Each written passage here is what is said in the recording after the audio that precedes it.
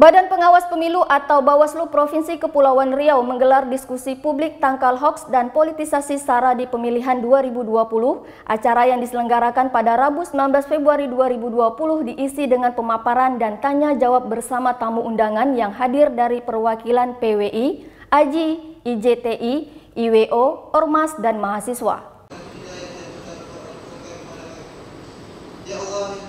Diskusi publik tangkal hoax dan politisasi SARA di pemilihan 2020 diadakan Bawaslu Kepri bertujuan untuk memberikan pemahaman masyarakat tentang berita hoax dan politisasi SARA di pemilihan tahun 2020 ini. Bawaslu Kepri juga mengundang tiga narasumber dari Ketua Predisio Mavindo, Septiaji Eko Nugroho, Dit Reskrimsus Polda Kepri yang dihadiri oleh Kanit Subdit 5 Kompol Iputu Bayupati, dan KIPP Indonesia, Kakak Suminta. Kakak Suminta mengatakan hoax di pemilihan pasti ada tujuan jahat, bukan hanya sekedar salah ketik karena hoax menurut definisi KBBI adalah berita bohong. Sayangnya hoax di netizen diartikan berita yang tidak disukai. Sedangkan Septiaji menjelaskan, ada ataupun tanpa niat jahat, media sosial pada khususnya mampu membuat masyarakat terpecah belah. Karena Mavindo telah memeriksa dari Juli 2018 Hingga Maret 2019 terdapat sekitar 826 topik hoax. Sementara itu, Iputu Bayupati mengatakan penyebab hoax ini dahsyat di Indonesia karena murah dan susah dilacak. Sebab cukup di mana saja terdapat internet atau wifi untuk membuat akun anonim serta membuat konten negatif terus menyebarkannya.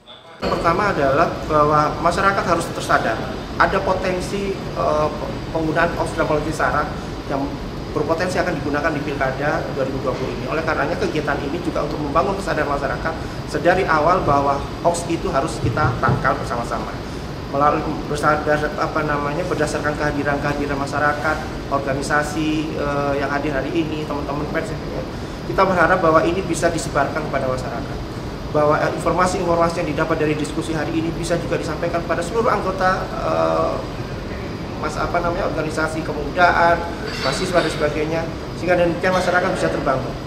Kalau kerawanan pilkada sebenarnya terpetakan ada beberapa aspek soal peserta pemilunya sendiri, kemudian pada persoalan uh, netralitas ASN TNI Polri-nya, kemudian pada uh, aspek kampanye di dalamnya ada politik uang misalnya dan sebagainya, pada aspek dana kampanye penggunaan dana-dana kampanye yang dilarang dan sebagainya, pada aspek pungut hitung bagaimana kemudian suara dari TPS itu tetap terjaga sampai dengan rekapitulasi. Ini aspek-aspek kerawanan yang pemetaannya sudah kita lakukan dan kemudian akan kita uh, lakukan upaya-upaya pencegahan secara uh, maksimal. Sebelum kemudian uh, masih juga timbul maka upaya penindakan harus kita ambil.